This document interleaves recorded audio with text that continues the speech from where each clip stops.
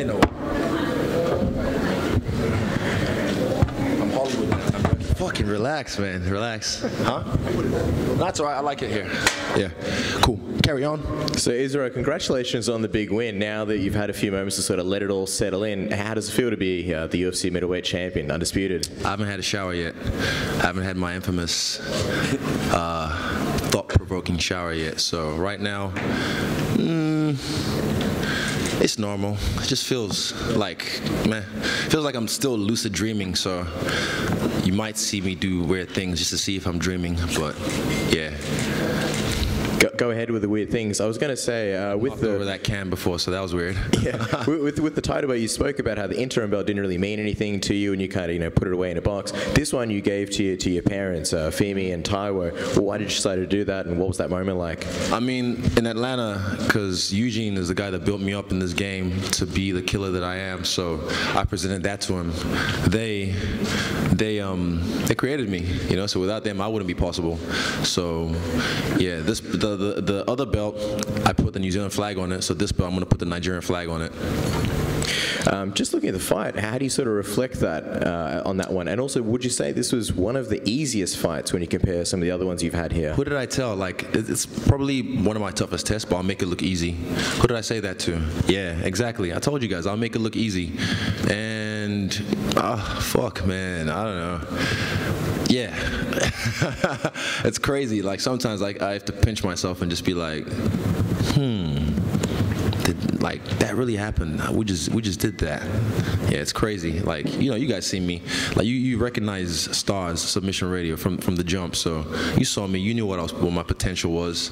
And I know you're Aussies. You know, I know you guys like Whittaker as well. But I appreciate the love and support throughout the times because you guys still give us a platform. Appreciate it. Would you say this was your star-breaking moment? That people have sort of mm. compared you to Conor McGregor and things like that with the entrance, and obviously in the stadium. Uh, no one is doing anything like I'm doing. You know, this is a 60,000 seat arena. After seeing that entrance, I bet you the Green Eyed Monsters were like, I fucking hope this guy loses. I fucking hope. I'm sure some of you in here as well. Oh, this asshole, look at him, thinks he's a fucking man. I hope he loses. I hope he gets flatlined. You know, because that's just that. It's it's ingrained in us. It's this tall puppy syndrome. It's this jealousy that when you see someone shining, you feel like it takes away from your, your own shine. I'm like, "Mm, look, I can't dim my shine just because some people feel uncomfortable. Everything went full circle tonight. I danced with my, some of my day ones, my guys, day, not even day negative fives, guys that I've known from way back. You know, Jay, I used to look up to him, you know, back in Rotorua. Jesse, I taught him how to dance, and now he's just taking it and run with it. And to have them, you know, set the tone for me and just have fun.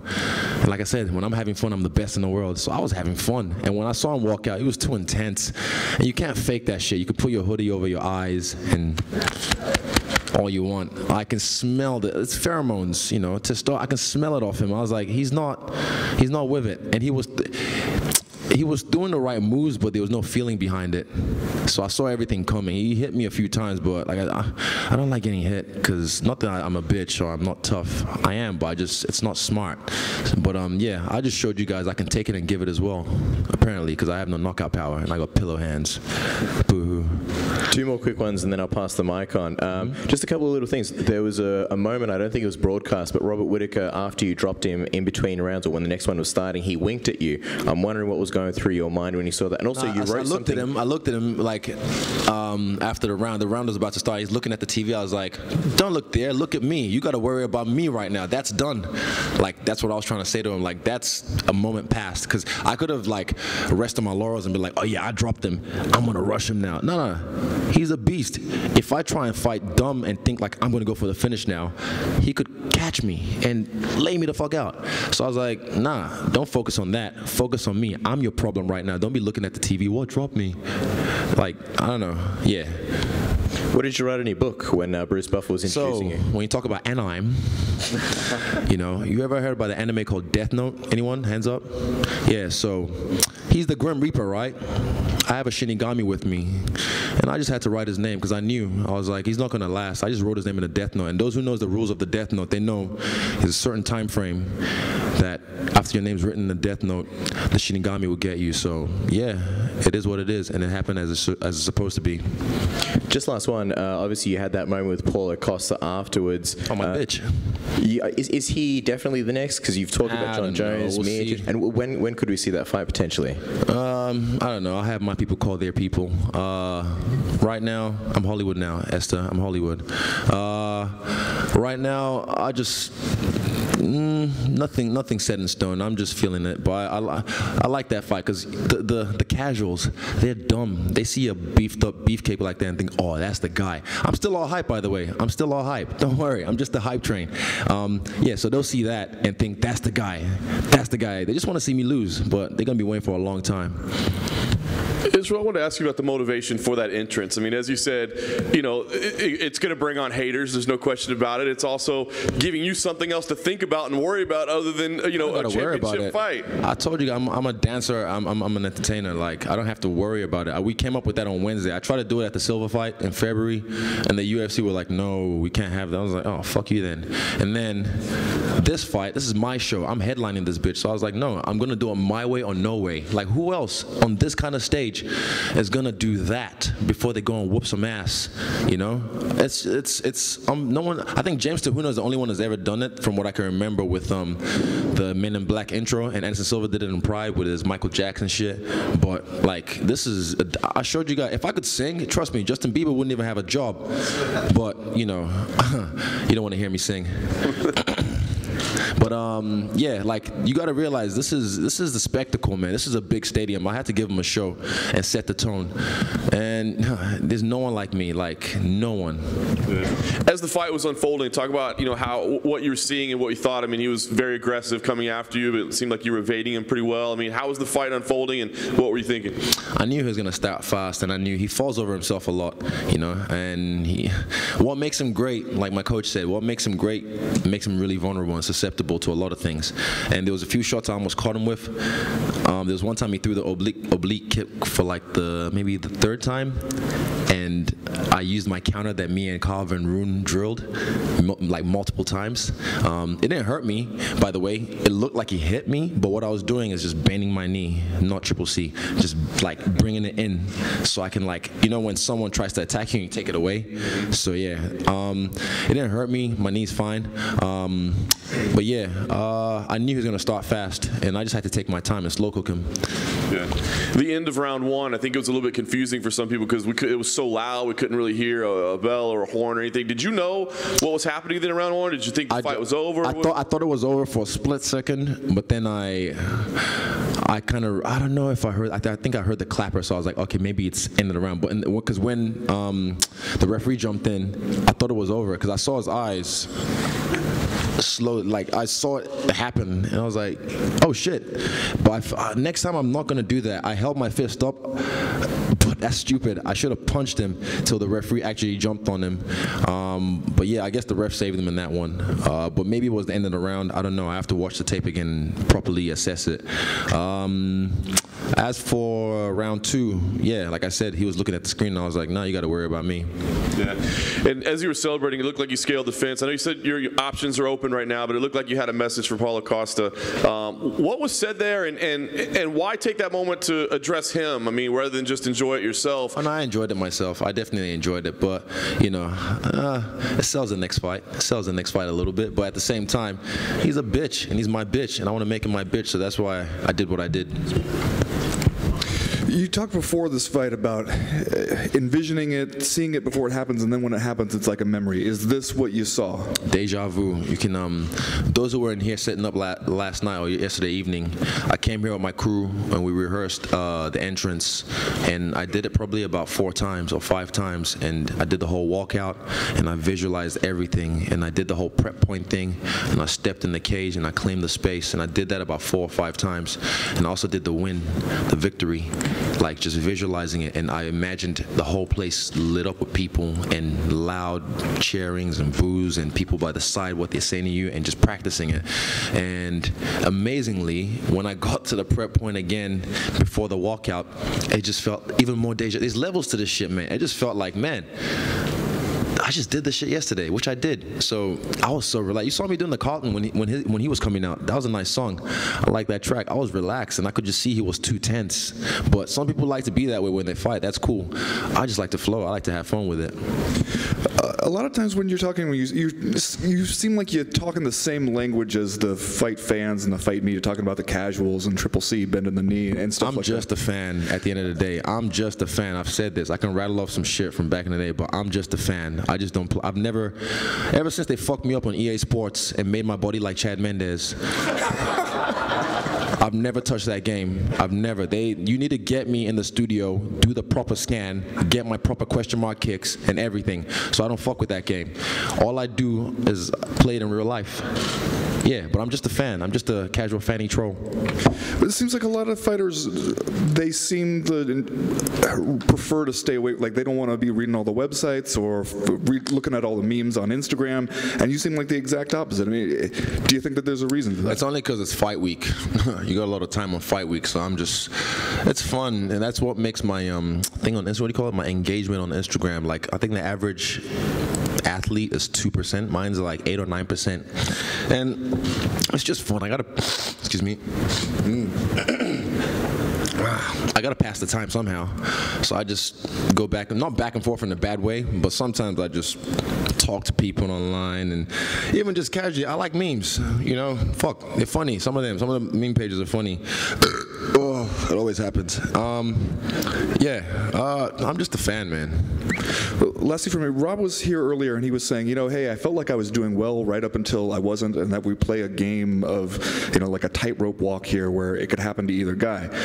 Did you feel like that? Like, the, like there were times where maybe he was close to catching you and, and you caught him instead? He grazed my lip once. He whizzed past a few times, but I always established my distance. So I never felt in danger. I never felt in danger. And I said, leading up to this fight, fear, fear is not real. Danger is real, and I'm a dangerous man. I was the danger. Yeah. Uh, yesterday, uh, after the weigh-ins, we spoke to your family, and they spoke about how proud they are of you. And the moment when you got up on the scale, we saw you got almost a little bit emotional when you saw them there. And uh, your mum was talking about how she wanted you to become an accountant. How obviously it's a family of professionals, but how much they've backed you going through this career. What does it mean to now be the champ? I know they're here in the room right now, and you sort of handed them that belt in the octagon. Sort of talk us through how that felt for you being able to do that. Uh, it was just cool. Like I've done it before in Atlanta with Eugene, so to prostrate, um, you know, and hand them the belt, like just to present it to them. It's just, it's like my two creators. Eugene created this beast, and they created this human. So, yeah, yeah. Just speaking of Eugene, I mean, just quickly, he's a guy that doesn't get as much credit as I believe he deserves. He had a big night tonight and a big weekend altogether. Three-peat. I told them, man, we did it in February. Me, Kai, and Shane, we did the three-peat. We repeat the three-peat tonight. Mm, What does he mean to you? Are you trying to make me cry? I don't want you to cry, but I just want to. he means a lot to me. I'll take a bullet for that man. And just finally, I mean, how, how good does it feel to see Dan win against. Al and and Brad win? We saw in the back you were celebrating when Brad won, and every, everybody was jumping around from the Oh, team. yeah, fucking, oh yeah, never mind. How did, how did that feel to see that? Um, Yeah, Brad's fight, you know, trust me, he's this is his first UFC fight. It's not as you kind of have to adjust some sometimes. Different folks, different strokes. But he showed you his mana. He showed you like he's from Christchurch in New Zealand, and with the earthquake, you know, see how they rebuild. They're strong people. Quake City's his name. that man don't fold. That man loves a fist fight. Um, Dan, fucking Dan, yeah. Dan's just a superstar in the making, and I'm glad he did what he did tonight on this stage. And I didn't hear his post-fight speech, but I heard 2020 at the end. But I heard it's Dustin Poirier, so I'm looking forward to that. I think that should headline uh, Spark Arena in, in Auckland next year. Izzy, congratulations on the victory. You're in the catbird seat. Paulo Costa came here because he wants to face you next. You said in the octagon you'd face him. You just addressed Jon Jones. You guys have been beefing on Twitter. Who? Jon, Jon Jones. No, I don't want to talk about him anymore. I'm over well, him. the question is, Yeah. Your decision making for the next fight will Next come down fight. to Nah, legacy look, I, I'm looking at or making money. the division. Nah, it's fuck money. Money will come. I don't chase money. Money chase me. It's about legacy. It's about moments. It's about, it's about being an icon. You know, I'll do what I do, and the money will flow. I never ever. I'm doing this game. I never did it for the money. Trust me. We're gonna talk, but I never did it for the money. I'm doing this for legacy. I showed you guys tonight. I can do things that no one else has ever done from the walkout to the fight itself. It was perfect for me and my team. And yeah, I'm not doing this for the money alone. I love the money, don't get me wrong, and the money love me. But legacy, history. Uh, thank you. Just a, uh, one quick question. Um, you mentioned in the uh, pre-fight build-up that you were sitting in the nosebleed section watching the Ronda Rousey fight. Here you are now. You've just fought in front of an even larger crowd than that. You're now the unified champion. Did your vision play out exactly as you imagined? Tell us about it. Yeah, exactly as I imagined. Um, there's always variables in the way and whatnot, but in that cage, even backstage, I was so calm. I was like, why do I feel this calm? Even Dan was so relaxed. You know, I was like, fuck, should I be this relaxed? But I think we, I just used my, my energy properly. I used my chakra properly, and I was able to just control it and channel it at the right moment, which was in the cage. Izzy, after February, you fight in February down here, mate, I asked you about Africa, and uh, I think you can pretty much call your own shot now. So the question is, Shot caller. the question is, mate, do you pick Africa or do you pick New Zealand? What do you mean? Well, where would you fight next? Where right you- now? Yeah, Oh, you could definitely. New Zealand. Oh, I don't know. I'm not. I don't know. You're trying to be that guy. Um, first of all, the, uh, what was I trying to say? For me, the UFC Africa has to take some time. It's not going to be next year. It's going to take some time because even right now, I wouldn't. Honestly, it would have to either be somewhere like Morocco because the, the leadership and the corruption where I'm from, people will try. It'll, it'll be too.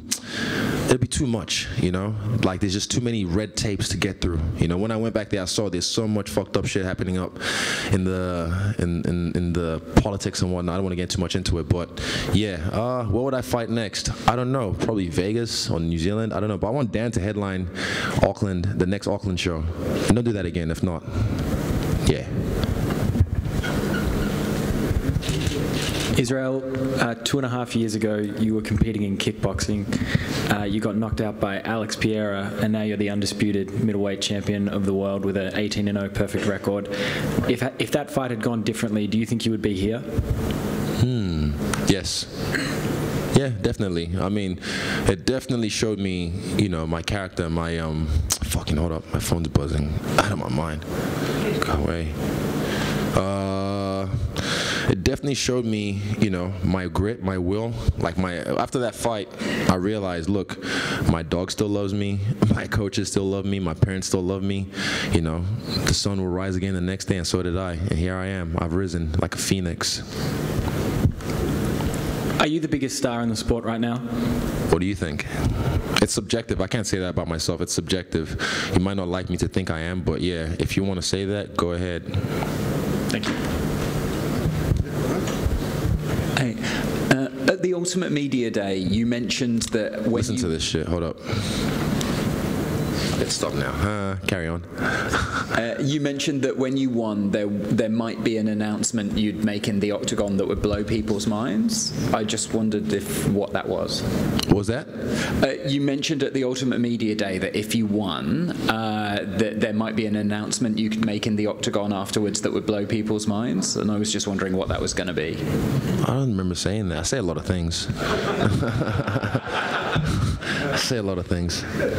Hey Israel. Um, obviously, you're not a massive fan of Paulo Costa's physique, it seems. But what He do you looks good. He looks beefy, and he he looks like a swimsuit model, doesn't he? Yeah. Yeah, I think so. He's a handsome man. Um, but what do you what do you think of his fighting ability? I mean, as a as a fighter. Basic, but that's not a bad thing. Basic is what you know. My shit is built on foundation. I just know how to work off my basics. He doesn't. He everyone he fights is a punching bag that's just waiting there to get hit, and I can't wait. I can't wait till I fight him. Uh, I'm, I'm not impressed, to be honest. I'm not impressed by your performance. Yeah. Realistically, when would you like to have that fight? I'll talk to my coach and we'll talk. But right now I'm fresh. We can go anytime. Yeah, but not in the near future till I talk to my coaches. It might be a bit hard to say, but would you think he's? Uh, Two seconds. Hold up. Two seconds, please. Just it's my show. I can do what I want. I just have to. My cousin is calling from Nigeria right now. Say hello from me. Olumide Sugar, what's happen?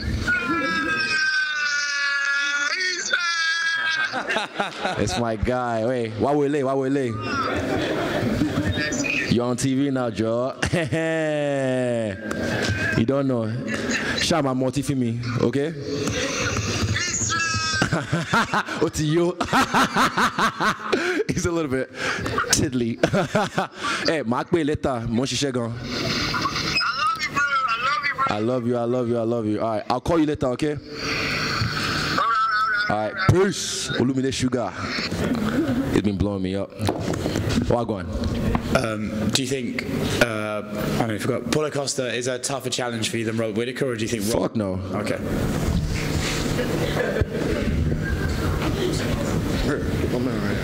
I just honestly, like I say, like I came from when I was.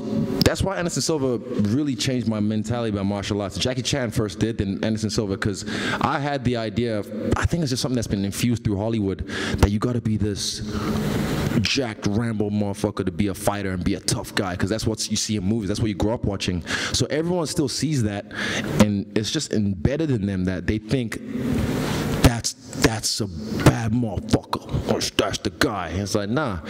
And look at me. Oh, he's so skinny, bro. He's so. I'm gonna break his face, bro. I'm gonna break him. He got no power, bro. Well, I don't need power. Everyone has power. I have precision. Um, you know, when I was speaking, sorry, over here. Hi. When I was speaking to you in the lead up to this fight, you kind of referenced Demetrious Johnson and Anderson Silva as people that you wanted to be as great as or even surpass. Is that your idea now with that title? You you kind of are looking at their run of title defenses and you want to uh, compete with that? Look, you, it's it's harder to stay champ than it is to be champ. This is pe- most people's like they've clocked the game, and then you see a lot of people just fall off after this. Then they, they don't have that because they've done it. They've done what they wanted to do, what they set out to do. I've done one thing that I've set out to do, which is become the UFC champion. Now it's about defending that actively, not like fight twice a year. You know what I'm saying? Like a lot of people will just expect. It's, it's, it's different. I, I'm I'm gonna do what I'm gonna do. I'm gonna run my own legacy, not like anyone else or compared to anyone else. I'm gonna run my own legacy and, and what are you gonna carve my own way. Eugene kind of said to us that he, he wanted to see what would happen to you when you became champion. Would you stay as active? Is that what you're saying? You will? You want to keep up this same activity? Uh, yeah, I saw that snippet of the interview when he said that. He's like, it depends. Uh, there's a quote. Uh, you know, it's harder to wake up in the morning when you silk and sleep sheets, and silk sheets. Sorry. Um, fuck. Stay woke, stay broke. It's up here. I don't don't ask me for shit. I'm broke. I got no money. All my money's just tied up in investments. So I need to eat. I need to pay bills. So I got to fight again.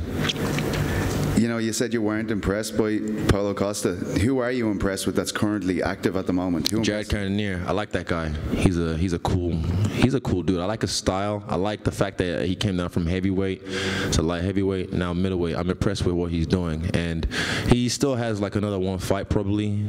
Well, it depends. Depends who he beats next. Depends who he fights next. One or two fights. Then I want to see him some. You know, I like I like challenges like that. Like Robert. Robert's a beast. I've seen Robert on TUF Smashes. I didn't really watch the the season, but yeah, I've, was it TUF Smashes? I don't know which one did he come up on. Yeah, um, but it's about taking names, you know, taking out the greats of this game. So when it's all said and done, it's not about like, oh, he won that belt or this. It's like, nah, he beat the fuck out of everyone that they put in front of him. Just finally, do you expect Rob to be able to fight his way back into a rematch I told him. I told him in the octagon. I said, "I- "I'll see you again," because I remember. I, I, first thing I said, "Look, you're better than." What did I say? I can't remember now. It'll probably be on one of the things with the UFC. They'll catch it on camera. But I said, I'm better, oh no, I'm greater than I think I am, because that was my alarm for the last 12 weeks. When I wake up, it says UFC 243, be greater than you think you are, and that's because he said, oh, that Israel fella, he's not as good as he thinks he is. So I took that. I was like, you don't know how I think I am. I'm fucking, I'm great. Like you don't know me. So for someone to try and tell me how to be me, I t- I don't know. It's not personal, but I just kind of use that as like a little fuel. So I just told him like, I'm greater than I think I am, and so are you. You know, it's like I don't know. And I said I'll see him again, definitely. Like he'll definitely work his way up. And he said probably in two fights I'll see you again. All right. Thank you, Izzy. Are we done? Oh, that was fun. Smoke or break? Oh, yeah.